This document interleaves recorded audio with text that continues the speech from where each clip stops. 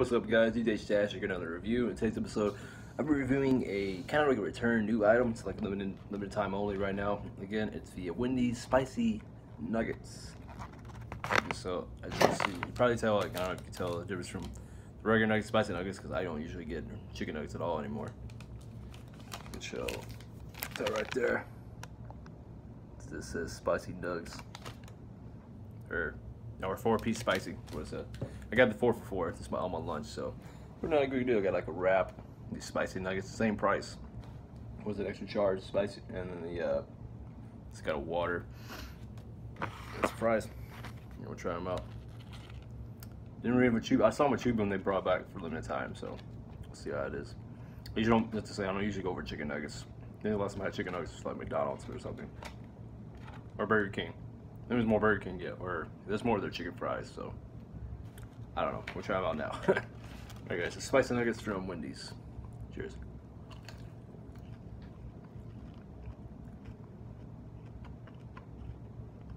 Hmm. Yeah, I do remember these now.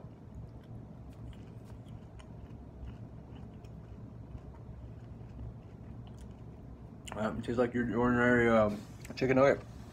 I remember having these as a kid now, especially at McDonald's, but I remember having these at Wendy's too. We like the frappes. You know.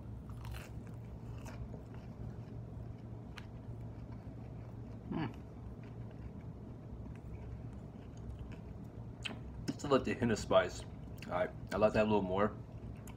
It's, it's just like a decent nugget for me. A little touch of heat. I prefer like these from the regular nuggets. I think it was a good middle row, three out of five. Not too bad. Established since 1969. Alright guys, this is the Wendy's Spicy Chicken Nuggets. Apparently this is the August 13th, so they're limited time, so you like little spicy nuggets. Definitely try these out. They're not too bad, especially when they're on 4-4 deal, so why not? Alright guys, I hope you enjoyed this video. If you did, please just like, share, and subscribe. Be sure to check out my plugins down in the description down below.